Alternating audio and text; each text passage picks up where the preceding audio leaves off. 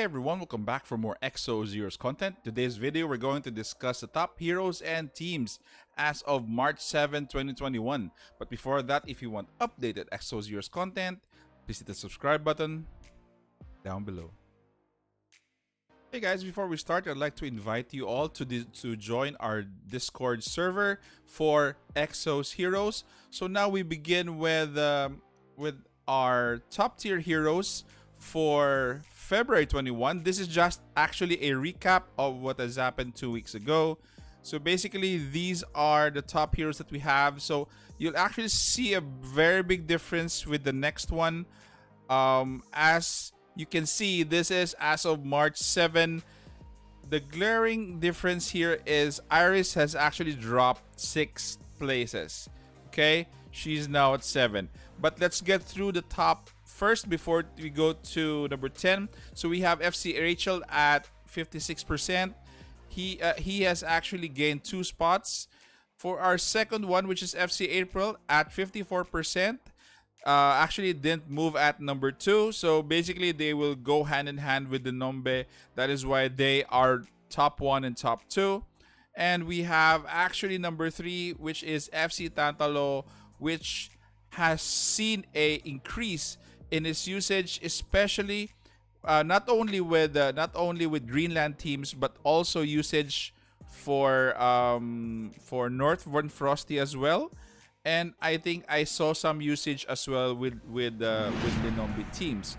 So basically, Tantalo has been the overall, you know, very versatile hero that uh, he has become in terms of being a all-around uh, hero in most of the nations that we have in Exos Heroes. So our fourth one would be FC Zion. So he uh, he is as actually at 34%, so he hasn't moved. By the way, forgot to mention Tantalo actually jumped two spots. He was before at number 5. But at number 5 right now is actually one of the changes that has made recently because of the lesser usage of Iris FC Baraka actually had a chance to replace her in most lineups for Linombe. That is why he is here at uh, 32% at fifth place. So he's a new entry. For our sixth, we have here Rudley at 28% and gains one spot. And as I've said earlier, at number seven, FC Iris has dropped a lot, and not even even FC Shell is not even in the top 10. So basically, FC Iris, is, at 26%. Uh, and I, I'm not sure if she, she will continue to drop in the next few weeks, but she's trending going downwards, or she might actually disappear from the top tier heroes in PvP for the first time for the next one. So please um, look forward to that one after two weeks. So next would be 8th would be FC Battery at 26%. So she hasn't moved from the 8th spot your ninth hero is FC Annie. So again, also FC Annie is at 24%. She hasn't moved from ninth. But on the 10th spot, we have Garf. And Garf is actually has dropped uh, four spots actually from number 7 no sorry it's actually a a a, a drop of three so from number seven so sorry um garf actually was previously in sixth that is why he dropped to number 10, a drop of negative 4. So at 22%. So basically, you've seen um the effect on on Linombe on how they're defining the meta and more or less how they're dominating it as well. So honorable mentions at number 11, I just have to mention this because these four FCs have are tied at 20% usage so you have FC Valentina, FC Shufraken, FC Jinai, and FC Morris. So Morris as well has seen more action because of the some of the teams are not using FC Iris anymore for Linombe. That is why some of them are using FC Baraka or FC Morris. And also, um, North Von Frosty is actually no surprise here at the door of the top 10 with FC Valentina and FC Shufraken actually uh, gaining um, momentum and increase in usage as well. So for our top teams in PvP, this is this was what uh the sorry this was the picture two weeks ago during February 21, 2021. But for now, only actually two teams are dominating PvP. You heard me right. Only two teams are are dominating PvP uh, in terms of um, usage. So the first team that we have here is again you've seen there FC Tantalo, Dorka, FC Shufraken, FC Valentina, and FC Battery. So they have uh, six usage um, out of the top 50.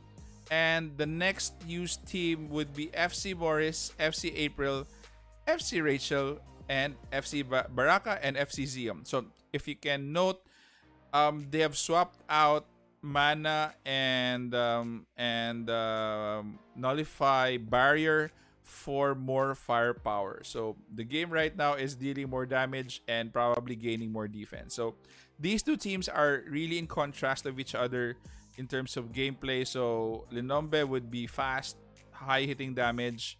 Um, as far as um, what do you call this? As far as North Von Frosty, they're more of a tempo, a controlling of the tempo type of team, and uh, more on taking out each opponent one at a time. As long as they can survive the initial onslaught of Linombe, they will be fine. So basically, you have here eight teams at two usage. So I will put them all in the comment section below.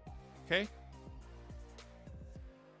So basically, for my final thoughts, most of them I've mentioned already. So mana support heroes are going out. So they're no longer in fashion. They are they are they are actually dropping from the top 10. First it was FC Shell and now you've seen Iris dipping in in usage since last week.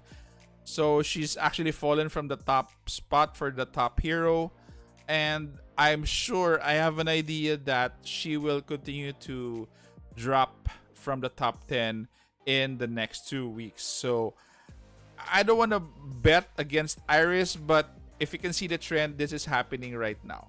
So again, mana support is out um, players right now are prioritizing damage or other utilities in terms of uh, their heroes or additional damage. So again, they have been put out of the game for now. This is just for now, okay? So next would be Linombe solidifies its hold as one of the top teams. So adding more firepower. So the additional firepower that I'm talking about again is either FC Baraka or FC Morris in place of FC Iris. So again, both um, both North, North Von Frosty and Linombe have done away with um, with uh, no FC Iris. So I'll probably try this as well with my Wasted Red team um, and see what happens. So we'll see in the coming, you know, in, in, in the next week after we have tag PvP this week. Okay, and last is North Von Frosty gets some needed reinforcement from Tantalo.